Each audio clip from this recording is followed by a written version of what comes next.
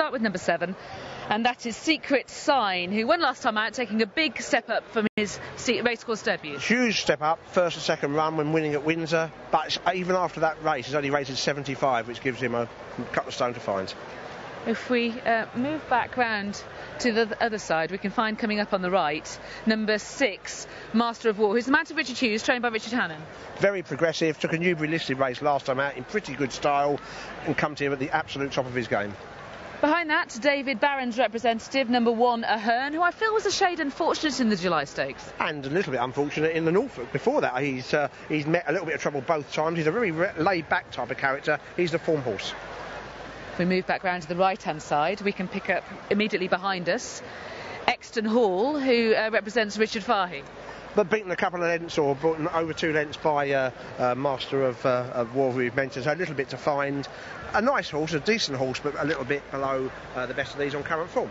And picking up the horse who is just where Euxton Hall was is number two, Cay Verde for William Buick and Mick Channon. Yep, favourite for a race at Ascot, the Norfolk, and probably didn't get run to his very, very best that day. Previous form gives him a good chance, and the Challenge Yard in great form. Now behind, number eight, Top Boy, is giving a real buck and a kick. He wasn't he just? Six race maiden, beat two home in the Coventry, better form when fourth in the super sprint last time out. Okay, there's just two more to find. They're just over on the right here. The first of them is Heavy Metal, a typical tough contender from the Mark Johnston yard. There he is, number five. He's not been his best the last two, though, has he? He's well beaten the Coventry, well beaten the July Stakes. Needs to bounce back to his earlier form to have any chance. And behind that, the final horse we're going to look at, number four, Ginger Goose for Richard Fahey. Didn't have to improve much to justify favouritism um, last time out at Hamilton. Does need to improve quite a lot to justify um, his entry here. You're looking at live shots of the runners going to post for the Richmond. And Ahern is 15 to 8. Very solid. 3 to 1 Master of War. Cay Verde 92, Heavy Metal 10s. 14's Euxton Hall. Uh, top Boys 14. 16's Ginger Goose. And the Secret Sign is 20s. So Ahern is the favourite at 15 to 8. I, I, do like his, his chances in the race, but I think 15 to 8 is probably a little bit skinny. But he was third behind Alhebayeb in the July Stakes last time. I just felt that he, he did hit a flat spot, and that could be used as a stone to throw against his chances here. But he was beginning to respond to pressure, and then just got squeezed out at that point as he was responded. Shuffled back, had to switch round, and then finished really strongly. I, I, I definitely agree, and I say things. It may be partly his own fault because he was slightly unlucky in the Norfolk before that, a similar thing in terms of he ran slightly out of room before keeping on. I think he could probably do with a decent pace, and I don't know where that's going to come from here. I know we haven't got, uh, it's a two year old race, it's hard to say, but where the pace is going to come from, I don't know. Here we're going to see a Ahern anyway. Well, this is the race I was just talking about, and Heavy Metal also ran in the race, finished seventh. It was one of his more muted performances. There's the flat spot. There is there is Ahern just having to be ridden to hold his position. The winner is in the Sheikh Hamdan colours on the right, but he just gets a little bit short of room in between the winner and Heavy Metal, shuffled back, and I just felt he was responding at that point, and he ends up being further behind than he would have been when he then produces this finish. That's, that's definitely true. His biggest threat today is if they don't go very quick, and as I say, he won't have the um, the gallop to respond off. But what he does do, and he has done in, in all his races so far, is he finds plenty.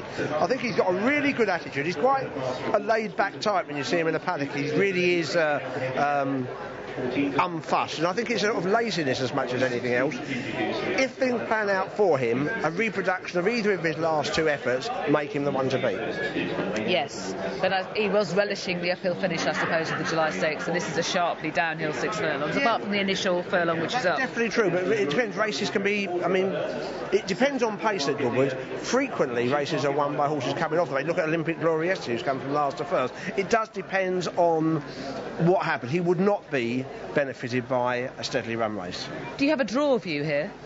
Uh, not so far this week. I mean, the only view I've had on the, on the straight course so far is that um, I don't think it's a disadvantage to race quite near the rail, but that's not going to the stand rail I'm talking about. But that's not going to apply with uh, uh, with. Yeah, I wouldn't have thought with with not many runners. I wouldn't mind being right on the rail, but obviously you need a clear run. Okay, there's Heavy uh, Master of War going to post alongside the Hearn, and he's next best in the betting.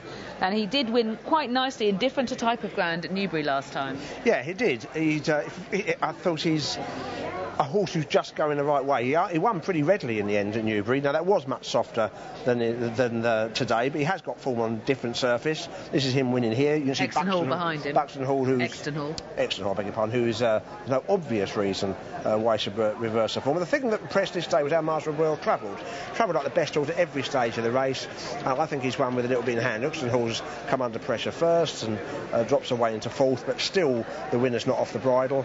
Now, I say this was soft ground. There's no question, and this is his best performance. Is it because of the ground, or is it because he's steadily improving? I think overall, if you look at his record, he, he is a horse who is improving. And at the moment, I'm taking the view that that's the case rather than the ground's essential. I agree with that. I was doing this day in the studio with Dave Nevison, and we both felt that he kind of won despite the ground. That he was just the best horse in the race. He coped with it. He didn't love it. Well, there's nothing obvious in his action to suggest he wants off ground. He, he hasn't got that much need. That doesn't always tell, but he's a fairly fluent mover. And at the moment, I think today he's just a horse who is going the right way. That, that's my take on him anyway. And Cape Verde, you mentioned the uh, the run in the Norfolk Stakes where you felt that he was a bit unlucky. Not was a bit unlucky. I think a bit below par really. He got beat three lengths. Prior to that, he won a Curragh listed race and an Ascot Maiden. He started favourite for the Norfolk, um, and although he was only beaten three lengths, I don't think he ran up to his form at the Curragh. So I think he's a little bit better than that. And the Mick Channon Yards are in very good form at the moment. They have, a lot of their two-year-olds are running well, and I think if he bounces back to his very best, he's probably got the second best form in the race. Okay, and we've seen heavy metal and Euxton Hall underperforming in those little bits of uh, video that we showed you a moment ago. Any reason to bring him back, back to form? As we have a, a good close-up look at uh, the jockeys taking part in this race. There's dual champion Paul Hanagan. Yeah, well, the, the, the, worry for heavy metal, I mean, the, the plus is that the yards are, are, going very well. The minus is that it wasn't just that last run. He didn't run very well when well beaten in the Coventry as well. So he's got a bit of a um, a bit of a cloud over him. I, watching the race at Newbury, it's hard to see why Euxton Hall should beat Master of War. There, there wasn't any stage in the race where Master of War wasn't travelling better, so I, I, find it hard to make a strong case for him. Ginger Goose is quite interesting. There's been a little bit of nibble for him, and he's uh, going the right way. Well, they've got two in the race. I don't know if Paul Hanagan had the choice. He's chosen, if he has, he's chosen Euxton Hall. He is going the right way, although I don't think he had to improve much to win at Hamilton. He'd run well at uh, Doncaster on his debut. I think the form is probably of a similar-ish standard. He certainly needs more. A secret sign who improved greatly on uh, his debut. He's a Gimcrack entry as well. Yeah, he's well entered. He improved a lot first and second run, but needs more.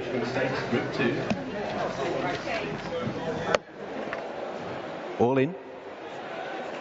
And off and racing for the Group 2 Audi Richmond Stakes uh, from the stalls. Euxton Hall bounces out against the rail in the uh, yellow cap of Cay Verde. Heavy Metal pressing on, Master of War, and Secret Sign also showing bright speed with Ginger Goose. But is Euxton Hall in the red attended by Secret Sign in green and blue. Cay Verde tracks those with the yellow cap. Ahern drops onto the same owner's back with the uh, maroon cap. Meanwhile, Heavy Metal down the centre with Ginger Goose, Master of War, and Top Boy. So Euxton Hall leading narrowly with Heavy Metal, Secret Sign between the pair. Cay Verde Towards the left is Ginger Goose in the hoop colours ahead of Master of War in the black and yellow. Ahern still tracking Cay Verde into the race as Euxton Hall rolls off the rail. So Heavy Metal has moved through to take an arrow lead from Euxton Hall. Secret sign on the retreat as Ginger Goose, Master of War, improve. Ahern still looking to pick the way through the field. Cay Verde improving under the near side rail. Heavy Metal out in front leads narrowly. Top Boy down the centre, Master of War. Then Euxton Hall battling back. Ahern trying to pick his way through the field. Heavy Metal narrowly in front, driven along Cay Verde coming to try and challenge with Master of War, but heavy metal, tough and tenacious out in front. Master of War finding one last effort, but out in front, heavy metal. Heavy Metal gets home for Mark Johnston to see off the Richard Hannon trained Master of War, the two leading stables of the week, criting out the finish. Cay Verde right behind with Ginger Goose Euxton Hall. Top Boy next, trading all the way back to the well-beaten Secret Sign. Well, of course, he's going to bounce back, and he's trained by Mark Johnston, and the venue is quite often Glorious Goodwood to do that, and that's exactly what Heavy Metal has done in the hands of Joe Fanning. He's quickly out of the stalls, always held a prominent position, and found extra when challenged, and he has seen off Master of War, who is more patiently ridden, but was produced with every chance, plenty of time. If he was good enough to get by Heavy Metal, he wasn't. He's finished second to Richard Hughes and Richard Hannon, and third is Cay Verde, who raced against this near side stands rail, and he's finished a little gap back to him in third for William Buick and Mick Channon. Uh, to be fair, uh, it's, uh, yeah, he didn't run very well in the July Stakes, didn't run very well in the Coventry. It Must be, I thought there was no obvious reason for a bounce back, but other than that, he's Goodwood, and uh, bounce back he did, and he won emphatically. And into archetypal, Mike Johnston type style in terms of up there and battling on really gamely when a few horses look dangerous um, beginning their challenges. And at the end, he's well on top. So he bounced absolutely back. They probably surpassed his best, to be absolutely honest. And uh, it was a typically straightforward ride. Got out in front, handled leading fine, handled the undulation fine. We knew that